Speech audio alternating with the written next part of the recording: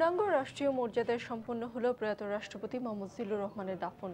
শুক্রবার বিকেলে বনানী কবরস্থানে শ্রী আইভি রহমানের কবরেই চিরনিদ্রায় শায়িত হন তিনি। দুপুরে জাতীয় ঈদগাহ ময়দানে রাষ্ট্রপতির দ্বিতীয় জানাজা শেষে তার মরদেহ নিয়ে যাওয়া হয় গুলশানের আইভি লিগেসিতে।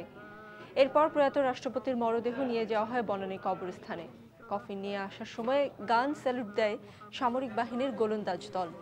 দাফন প্রক্রিয়ার শুরুতে তার সম্মানে দু মিনিট নীরবতা পালন করেন উপস্থিত ব্যক্তিরা। এরপর মরদেহ কবরে শায়িত করা হয়, জানানো হয় হোলি ফায়ার। পরে অস্থায়ী রাষ্ট্রপতি, প্রধানমন্ত্রীর পক্ষে তার সামরিক সচিব, মন্ত্রিপরিষদ সদস্য, সামরিক ও বেসামরিক কর্মকর্তারা ফুল দিয়ে শ্রদ্ধা নিবেদন করেন। পরে সশস্ত্র বাহিনীর পক্ষ থেকে মরণোত্তর সালাম প্রদান করা হয়। অবশেষে প্রয়াত রাষ্ট্রপতির আত্মার শান্তি কামনা করে মোনাজাত করা হয়। سنة رسول الله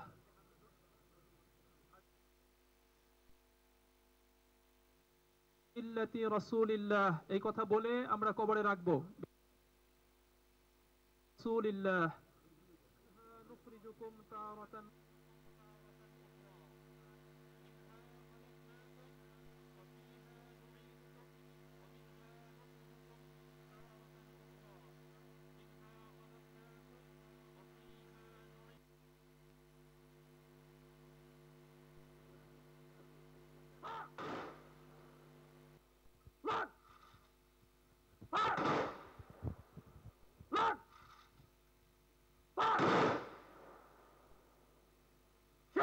们啊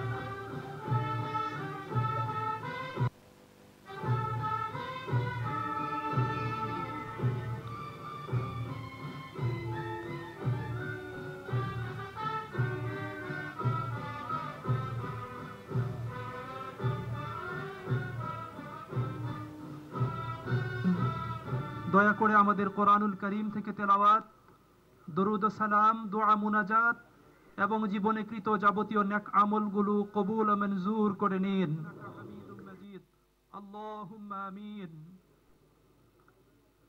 الحمد لله رب العالمين والصلاة والسلام على سيد المرسلين